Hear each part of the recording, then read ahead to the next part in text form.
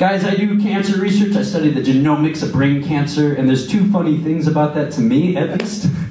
Number one, I work in a, uh, a cancer hospital, right? So I have to walk past this like little group that fundraise for, for cancer research, which is a bizarre, kind of ethically dubious place to pick up money for cancer research. They're like, oh yeah, how's grandma doing? Hmm, Sure you don't want to donate money?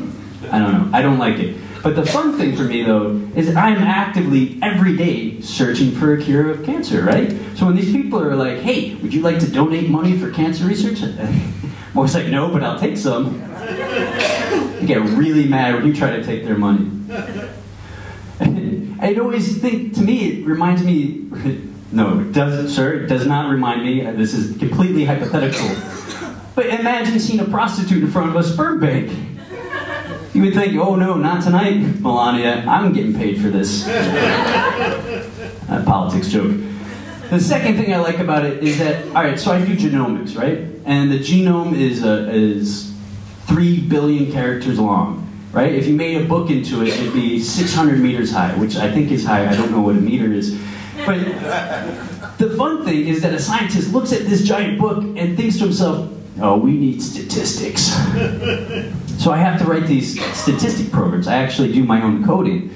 And I've gotten to learn how to code, and it's fucking terrible. Does anybody code in here? Yeah? All right, tell me if this is true. Here's what I think coding is. So you work for hours, if not days, if not weeks, if not months, to build a program, right? And then you hit compile. And what does the fucking compiler do? It says error. It's a lot like having a really shitty romantic partner. Because they'll tell you you fucked up, but they won't tell you what you did wrong. You're like, error. You're like, oh, baby, what did I do? You should know. I mean, I should know. Come on, give me a hint. Parentheses. Parenth- There's 50 sets of parentheses. Which one? You should know which one is important to me. Mm. Okay, everybody's got a wonderful, loving partner. Good for you.